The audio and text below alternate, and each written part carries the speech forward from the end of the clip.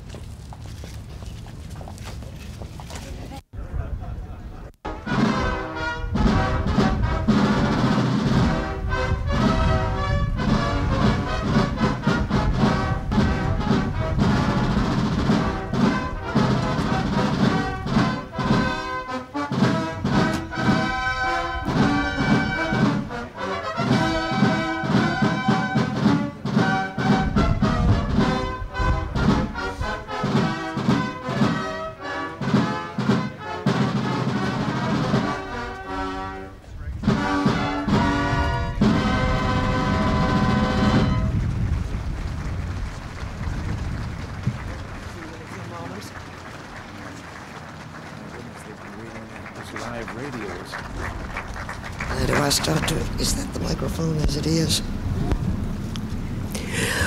What a pleasure it is to welcome the 40th President of the United States and his wife to the home of our first President. It is good to have them with us today at Mount Vernon to commemorate the 250th birthday of George Washington. Mr. President?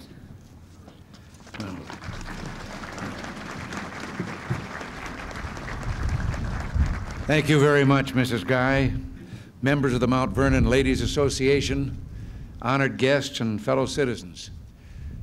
We're gathered on hallowed grounds to spare a, or share a special moment in our history. We come filled with pride and gratitude to honor George Washington, father of our country, knowing that because of what he did, we're free and we're Americans. 250 years after his birth, Washington's star shines brighter than ever.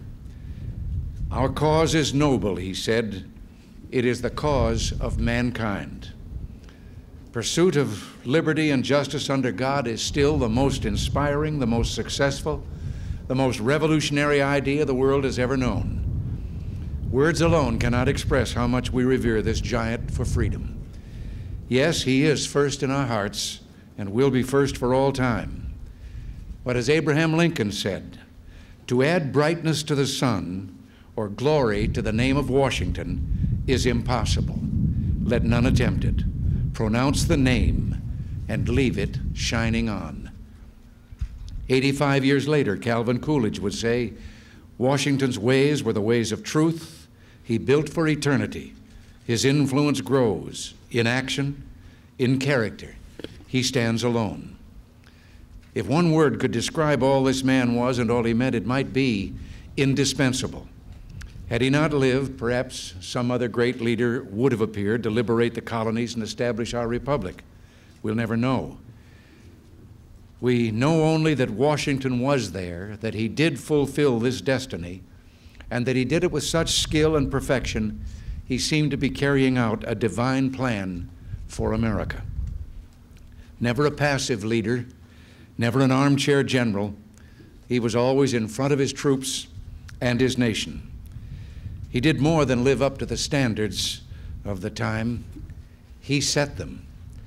Washington was gifted with the vision of the future. He dreamed America could be a great, prosperous, and peaceful nation stretching from ocean to ocean. He hoped the deliberations at Philadelphia would end with a declaration of our independence.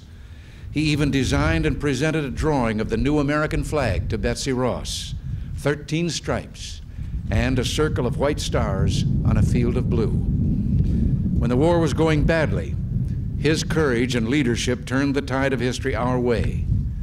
On our first Christmas as a nation in 1776, he led his band of ragged citizen soldiers across the Delaware River through driving snow to a victory that saved the cause of American independence. Their route of march, it is said, was stained by bloody footprints, but their spirit did not fail. Their will could not be crushed. Washington kept them going, and with the help of France, they finally battled their way to Yorktown in the decisive victory that ended the war. After the Revolution, he wanted to return here to Mount Vernon, to be with his family, to farm, to hunt, to engage in commerce. But he loved his country, and his country needed him. The 13 former colonies were impoverished, they were bickering, they needed a constitution so that they could become a union of sovereign states joined to a central government. The American political experiment was new to all human experience and the world expected us to fail. If Washington had not stepped forward again, first at the Constitutional Convention, then as our first elected president, we might well have failed. His feats were harvested from the seeds of exceptional character. He lacked higher education, but he pulled himself up with years of training and hard work. He was a man of deep faith who believed the pillars of society were religion, morality, and bonds of brotherhood between all citizens. It has been written that the most sublime figure in American history was George Washington on his knees in the snow at Valley Forge. He personified a people who knew it was not enough to depend on their own courage and goodness. They must also seek help from God, their Father and Preserver. Washington was so popular, he could have been king had he wanted that, but he had no hunger for personal power. His love was liberty, and his trust was in the people. He believed they're dependable and right minded, and he believed that a leader's responsibility is to bring out their best qualities. Let us ask ourselves are we keeping faith with his trust in us? The problems we face today don't require the kind of sacrifices Washington and his men made that Christmas night in the Delaware but they do require us to give and sustain our best efforts, to believe in each other, to believe in the God who has blessed us and will help us to rebuild our country. George Washington and his generation of Americans met their challenge. We can, we must, and we will meet ours.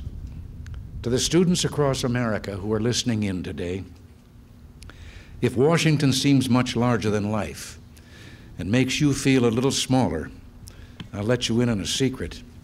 He makes us all feel that way. But you do matter a lot. I'm sure he would tell you the important thing is to find your goal and go for it. Then, if you fail, and he himself failed many times, pick yourselves up and try again. Remember, our problems are also our opportunities. You can take us to new frontiers in space, find medical cures for deadly diseases, discover technological breakthroughs, develop better ways to grow food, provide shelter, and produce energy. The world's hope is still America's future. America's future is in your dreams. Make them come true. The only limits are your imagination and your determination. The story is told that one night at dinner here at Mount Vernon, Lafayette said to Washington, General, You Americans, even in war and desperate times, have a superb spirit. You're happy and you're confident. Why is it? And Washington answered, There is freedom, there is space for a man to be alone and think, and there are friends who owe each other nothing but affection. We still have that in America. As Americans, let us all rededicate ourselves to the ideals that George Washington set. Let us give of ourselves so that when our time is through, history may say of us what Thomas and Jefferson said of him. Their integrity was the most pure, and their justice the most inflexible we have ever known. They were, in every sense of the word, a wise and a great people. Well, I believe we still are. And because I believe in you, I believe we will be tomorrow. God bless America, and thank you very much.